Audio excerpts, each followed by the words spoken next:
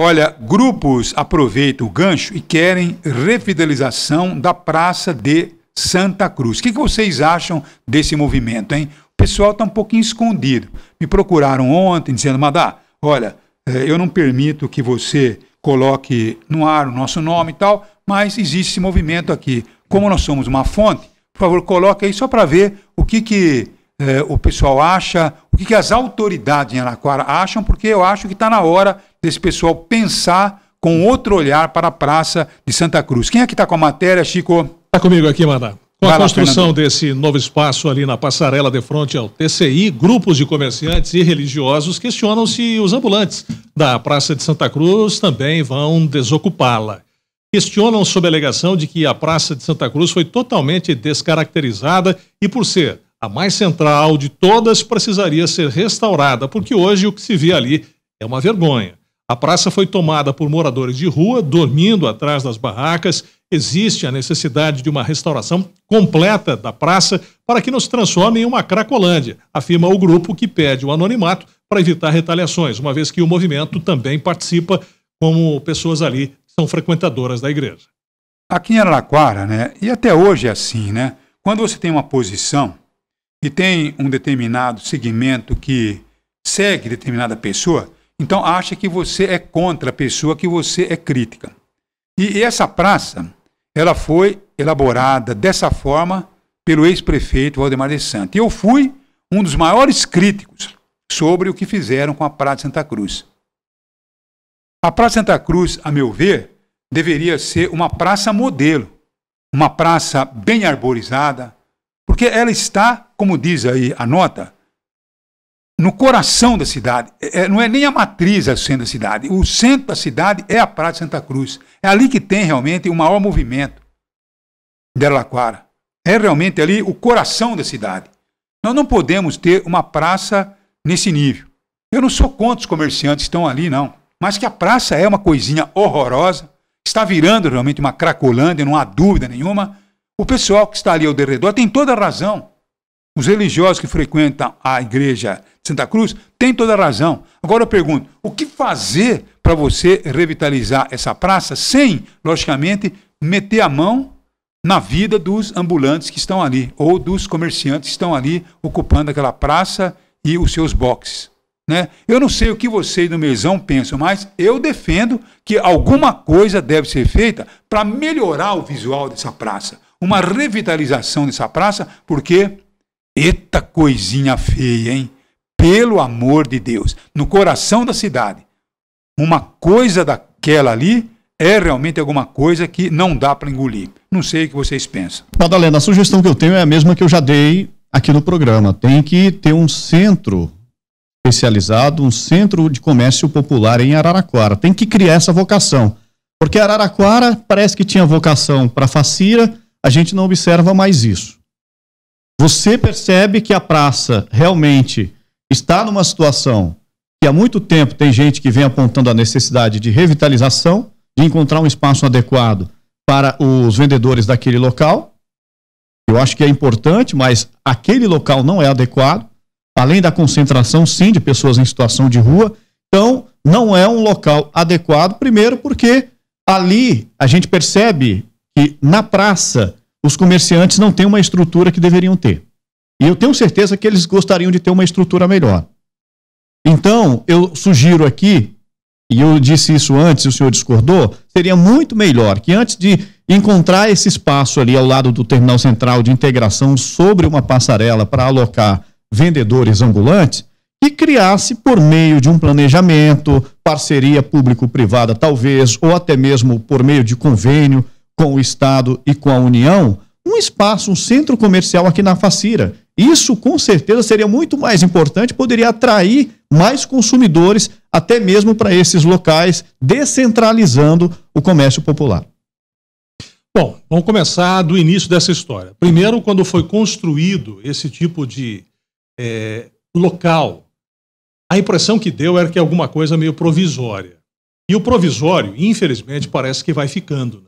Coisa vai se estendendo se tentou dar uma resposta imediata de um problema que existia, uma reclamação constante de comerciantes aqui na cidade, para que se colocasse em determinado ponto O ponto, para mim, é o melhor possível em termos para venda, porque está no coração da cidade de Araraquara. Agora, esse ponto não é o melhor em termos de estrutura.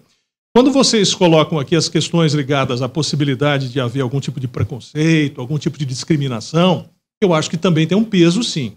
Porque não adianta você simplesmente tirar, são coisas diferentes, é, retirar a estrutura que ali está e passar, quem sabe, para outro ponto, como você é, gosta de afirmar aqui, Chico, que você vai eliminar também a questão daqueles que ali estão. São duas coisas totalmente diferentes. São problemas distintos e que precisam ser trabalhados de uma maneira diferente. Infelizmente, o que a gente tem visto é que as coisas parecem que vão ficando, né? Vai deixando, vai deixando. Eu me lembro quando foi feita a instalação daquele ponto em, aqui na, em Araraquara, houve uma reclamação dos taxistas que ali estavam. Eles não queriam conviver com aquela situação, inclusive no começo foi bastante criticada esse tipo de ação por parte da prefeitura. Eu pergunto, há quantos anos essa estrutura está ali em Araraquara? Mas já faz muitos anos. Muito. Muitos anos. E eu pergunto, ao longo de todo esse tempo, o que, que aconteceu? O ponto foi se degradando ainda mais. Solução existe? O Chico tenta colocar o que existe ali num outro ponto, estabelecendo um outro tipo de comércio. Eu não sei se essa é a melhor saída, mas uma resposta vai precisar ser dada. Eu acho que a gente fica, infelizmente, postergando decisões, talvez pensando em situações que são um pouco críticas, né? Eu convidaria a Câmara Municipal a fazer uma audiência pública para debater mais amplamente com a sociedade o que fazer com a praça. Porque eu cheguei em Araraquara em 95, então a, a, a cidade já tinha modificado muito, mas quando a gente vê fotos antigas da Praça de Santa Cruz, era uma praça belíssima, era lotada de árvores, era uma das praças mais bonitas da cidade.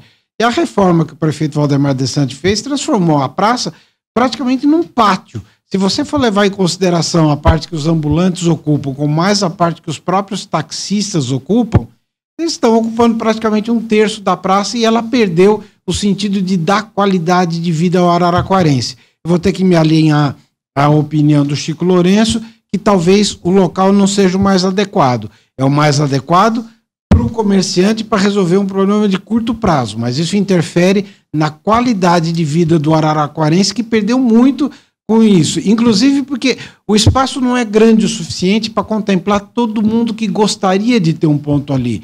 Então, talvez se repensasse num ponto mais amplo, você poderia atender mais pessoas e transformar realmente a coisa num shopping popular, como seria a vocação que lhe foi dada e que não foi cumprida. Luiz. Bom, eu vou na contramão de muito do que foi dito aí, né, por vocês. Eu me alinho quase um pouco mais ao que o Fernando disse, né? Primeira coisa, né? Há muito preconceito nesse, nesse pedido de religiosos, de comerciantes. Porque vamos partir do princípio, você que está nos acompanhando, você sabe, revitalização. Quantas praças de Araraquara não precisam de fato de uma revitalização, porque não é um espaço que serve nem de passagem, nem de permanência, nem de abrigar absolutamente nada. A Praça Santa Cruz pode não ser a mais bonita, mas está longe de precisar de uma revitalização. Segundo, não é um espaço abandonado. Né?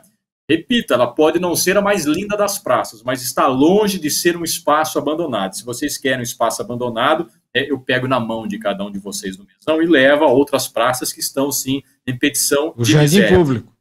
É, segundo ponto, né, há, há muito preconceito em, na colocação dessas pessoas que estão pedindo a retirada dos ambulantes, e um preconceito também está um pouquinho na fala que vocês apontam aí, é como se os ambulantes precisam de um local adequado, como se o centro da cidade não fosse um espaço também para o comércio de ambulante. Primeiro que não são ambulantes, né? Se estão fixos, não estão ambulando mais. Então, né, são é, é, comércios populares. O que não quer dizer que eventualmente não tenha é, que receber uma pintura, o espaço deles ali, uma adequação e tal mas é, há um, uma concepção de que esse tipo de comércio é incompatível com o centro da cidade, que, portanto, ele tem que ficar fora do centro, não pode participar da vida urbana de uma cidade, da movimentação de uma cidade, porque ali é o local do grande capital e não do pequeno. Eu não compartilho disso. A praça não está abandonada, a praça poderia ser mais bonita, poderia, mas não está carecendo não de um processo de revitalização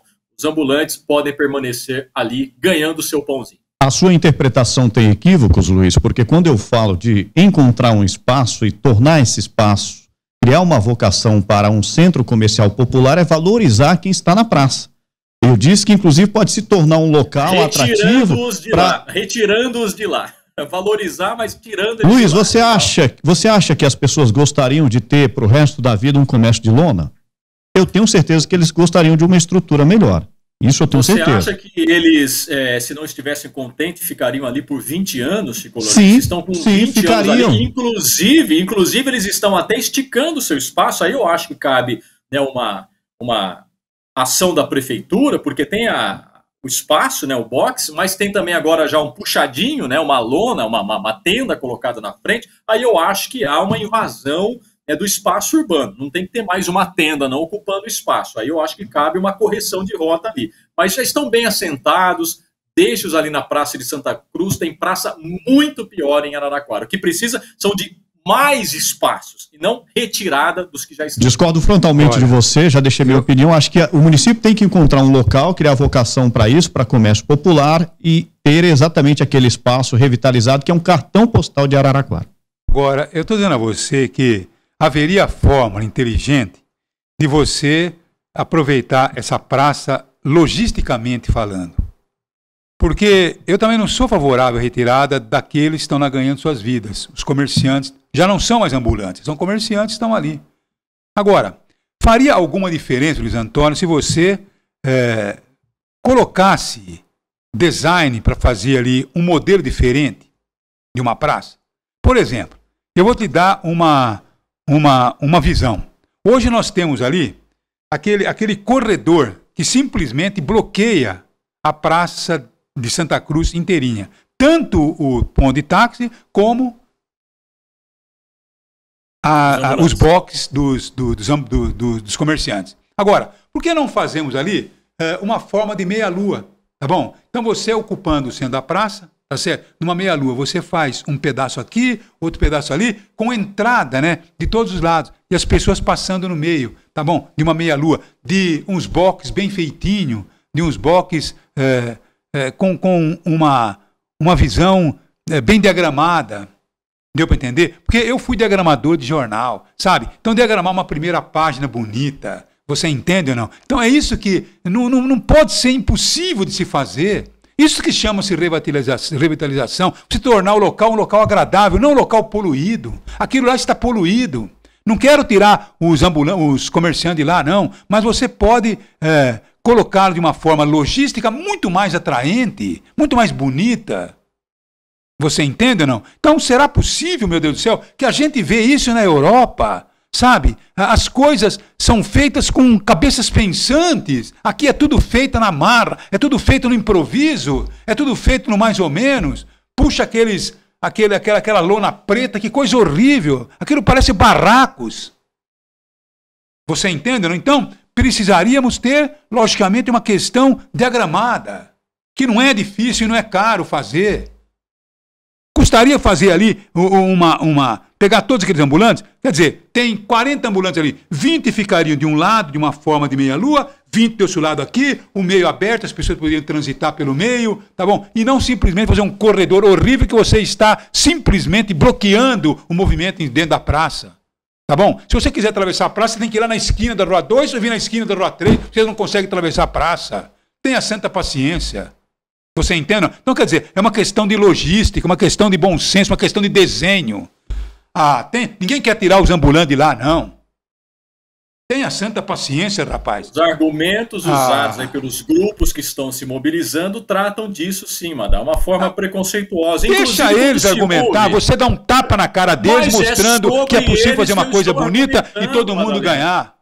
E eu todo mundo ganhar. É possível fazer isso há muitos outros espaços que precisam de, de numa escala de prioridade, de ser revitalizados para ocupação. É um comércio ocupando um espaço, é uma ocupação do espaço público. Olha, tá é, horrível aquilo, dá para melhorar sem questão, você tirar o pessoal dali. A questão, a questão de estar horrível é discutível, é até discutível se realmente é horrível para você, para outro pode não ser, sabe? A questão estética oh, é ajustável, a questão, né? a questão da ocupação do espaço que é extremamente importante. É quantas praças tem em Araraquara um comércio presente? Quantas? Quantas? Eu acho que dá para contar assim, não preenche metade de uma mão. Né? Talvez seja até um único exemplo. Estou pensando aqui, não encontro outro.